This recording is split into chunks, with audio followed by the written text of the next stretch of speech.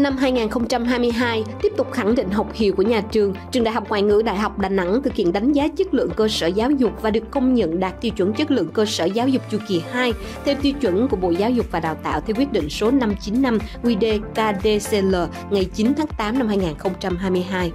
Bên cạnh việc triển khai kiểm định chất lượng cơ sở giáo dục, trường Đại học Ngoại ngữ cũng ưu tiên thực hiện kiểm định chất lượng các chương trình đào tạo. Nhà trường đã có 3 chương trình đào tạo ngành quốc tế học, ngôn ngữ Anh và sư phạm tiếng Anh đạt tiêu chuẩn kiểm định chất lượng giáo dục theo tiêu chuẩn quốc tế AUNQA. Ngành Đông phương học tham gia kiểm định AUNQA vào tháng 10 năm 2022 và đang chờ kết quả. Các chương trình đào tạo ngành ngôn ngữ Pháp, ngôn ngữ Trung Quốc, ngôn ngữ Nhật Bản và ngôn ngữ Hàn Quốc đã hoàn thiện quy trình đánh giá nội bộ theo thông tư số 04 2016 TT BGDDT và đã được đánh giá bởi Trung tâm Kiểm định Chất lượng Giáo dục Đại học Quốc gia Hà Nội vào cuối tháng 12 năm 2022.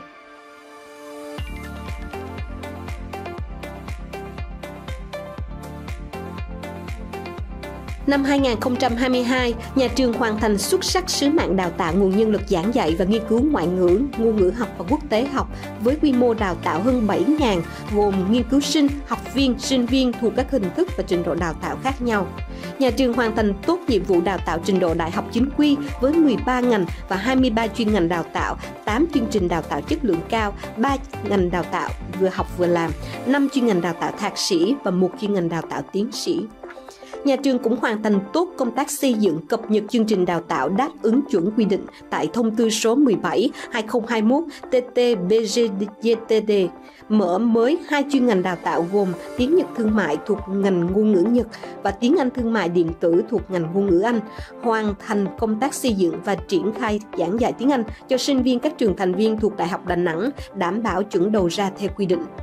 Ngoài ra, Trường Đại học Ngoại ngữ Đại học Đà Nẵng được Ban Quản lý Đề án Ngoại ngữ Quốc gia tin tưởng và giao nhiều hoạt động văn hóa xã hội khác. Các thành tựu đào tạo nổi bật nêu trên đã góp phần làm tăng uy tín và sức hút của Trường Đại học Ngoại ngữ đối với xã hội. Điểm trúng tuyển chính quy vào trường luôn cao và tỷ lệ sinh viên tốt nghiệp có việc làm luôn tăng đều hàng năm. Trường Đại học Ngoại ngữ Đại học Đà Nẵng quyết tâm thực hiện thắng lợi sứ mạng đào tạo và nghiên cứu ngôn ngữ, văn hóa, văn minh nhân loại, góp phần phục vụ sự nghiệp phát triển đất nước và hội nhập quốc tế.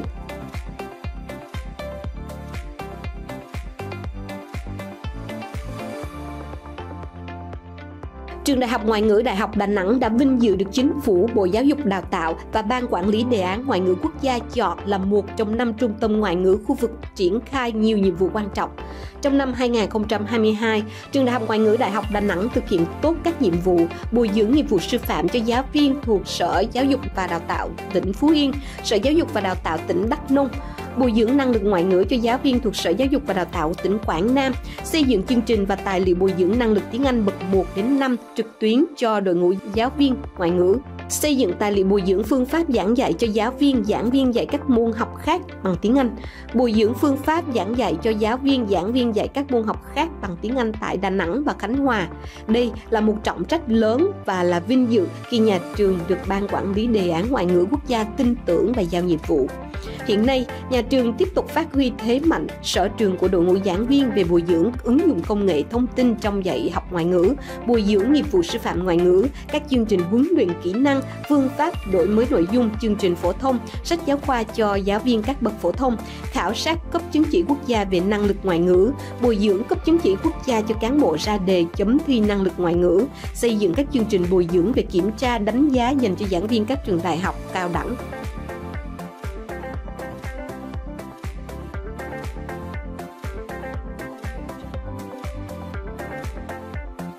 Năm 2022, các chương trình hợp tác quốc tế của nhà trường vẫn không ngừng phát triển và gặt hái được nhiều thành công.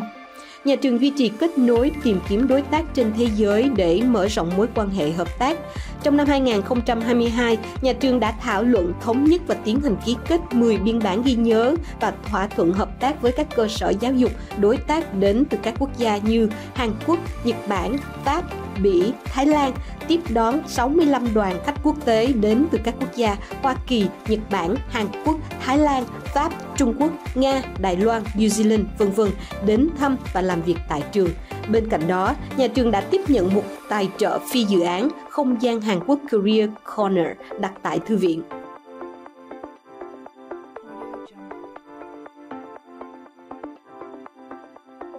Công tác nghiên cứu khoa học của nhà trường đã tạo nên những dấu ấn sâu sắc cán bộ giảng viên của nhà trường đã có nhiều công bố khoa học trên các tạp chí uy tín trong nước và quốc tế. Trong năm 2022, nhà trường đã tổ chức thành công Hội thảo quốc gia năm 2022 vào ngày 16 tháng 12 năm 2022 với 32 báo cáo ở 3 tiểu bang và 3 báo cáo phiên toàn thể. Nhà trường tổ chức 4 hội thảo cấp trường chào mừng sự kiện Ngày Nhà giáo Việt Nam 20 tháng 11 cùng nhiều hội thảo định kỳ khác trong suốt năm học và hội nghị sinh viên nghiên cứu khoa học cấp trường với 145 báo cáo. Nhà trường đã khen thưởng cho các giảng viên và sinh viên có báo cáo xuất sắc gồm 16 giải nhất, 32 giải nhì, 48 giải ba, 49 giải khuyến khích. Đặc biệt, sinh viên nhà trường cũng gặt hái được nhiều thành tích khi tham dự hội nghị sinh viên nghiên cứu khoa học các cấp, một giải nhì và một giải ba cấp bộ, một giải nhì cấp Đại học Đà Nẵng và một giải khuyến khích cấp thành phố.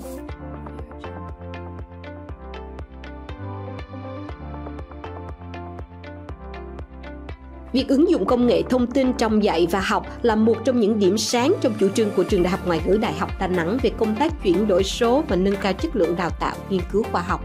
nhà trường không ngừng đầu tư phát triển cơ sở vật chất, chú trọng ứng dụng công nghệ thông tin và phát triển thư viện, tài nguyên học liệu nhằm nâng cao chất lượng đào tạo, nghiên cứu khoa học, đáp ứng yêu cầu phục vụ sinh viên.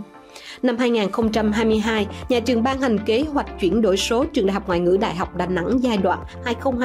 2022-2025, gồm 200 tài liệu nội sinh được số hóa. Đồng thời, trường Đại học Ngoại ngữ Đại học Đà Nẵng cũng đã phát triển hệ thống quản lý học tập LMS, hệ thống đào tạo trực tuyến e-learning để thích ứng với bối cảnh phòng chống dịch COVID-19 và tiến trình chuyển đổi số trong thời đại công nghiệp 4.0.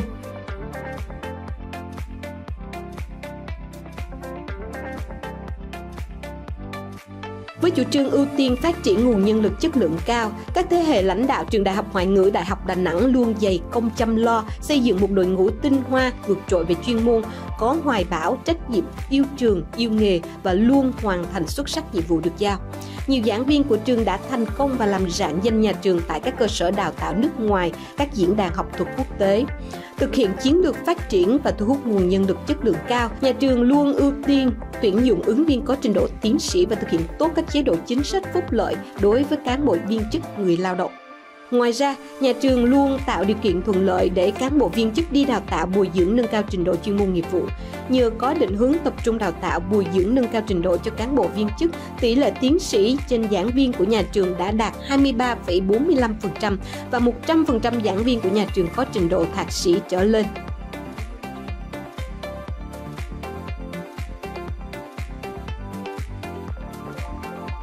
Năm 2022 là năm gặt hái nhiều thành công vượt bậc của các tập thể và viên chức nhà trường trong việc thực hiện phong trào thi đua, đổi mới sáng tạo trong quản lý, giảng dạy và học tập.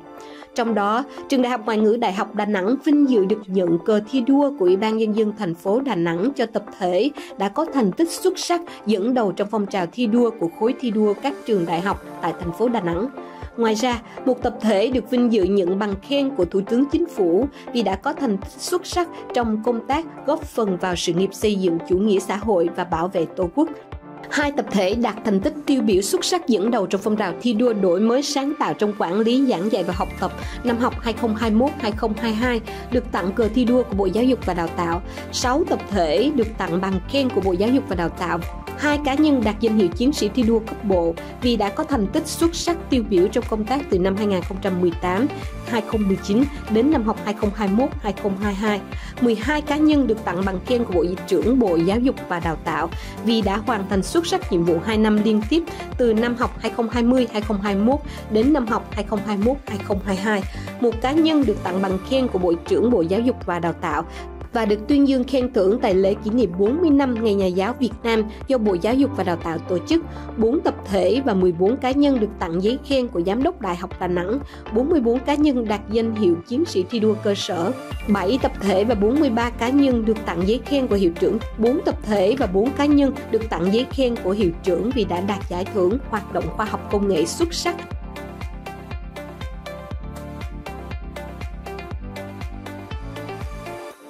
Trong năm học 2021-2022, sinh viên trường Đại học Ngoại ngữ Đại học Đà Nẵng đã lập nhiều thành tích xuất sắc trong học tập. Giải nhất cuộc thi hùng biện tiếng Trung toàn quốc Đà Nẵng 2022, giải nhất kỳ thi Olympic tiếng Nga lần thứ 18 năm 2022, giải nhất đồng đội tại Hội thi Olympic tiếng Anh cấp thành phố năm 2022, giải nhất, giải nhì và giải ba cuộc thi dịch văn học những dòng chữ tuyệt vời đã trở thành cách ngôn, giải nhì tại cuộc thi Olympic tiếng Anh năm 2022 cấp khu vực, giải nhì và giải ba cuộc thi hùng biện tiếng Hàn do Tổng lãnh sự quán Hàn Quốc tại Đà Nẵng tổ chức. Ba giải ba tại cuộc thi tiếng Anh trong sinh viên Star Awards năm 2022 cấp khu vực Đà Nẵng. Giải khuyến khích cuộc thi tiếng Anh trong sinh viên Wilmar COV Star Awards 2022, giải khuyến khích cuộc thi nhịp cầu Hán ngữ lần thứ 20 dành cho học sinh, sinh viên các trường đại học Việt Nam sinh viên của trường cũng đã đạt nhiều thành tích cao trong rèn luyện và các hoạt động xã hội. Xuất sắc đăng quang Hoa hậu Việt Nam năm 2022, Á hậu 2 tại cuộc thi Hoa hậu du lịch Đà Nẵng năm 2022, Hoa khôi và Á vương 1 tại cuộc thi tìm kiếm đại sứ sinh viên Đại học Đà Nẵng Miss and Mr. UD 2022 hai sinh viên của trường được vinh danh là sinh viên năm tốt cấp trung ương, một giải nhất, hai giải khuyến khích và một giải triển vọng tại cuộc thi Tài năng sinh viên Đại học Đà Nẵng 2021, một giải nhì, hai giải ba và một giải khuyến khích tại cuộc thi sáng tác video, clip truyền thông giáo dục pháp luật, đảm bảo trật tự an toàn giao thông và văn hóa giao thông trong sinh viên năm 2022 cho Đoàn Thanh niên Hội sinh viên Đại học Đà Nẵng tổ chức. Giải nhì cuộc thi sinh viên khởi nghiệp công nghệ Đại học Đà Nẵng lần 1 top 10 tại cuộc thi ý tưởng khởi nghiệp đổi mới sáng tạo Light Up Your Creativity 2022 do Đoàn Thanh niên Hội sinh viên thành phố Đà Nẵng tổ chức.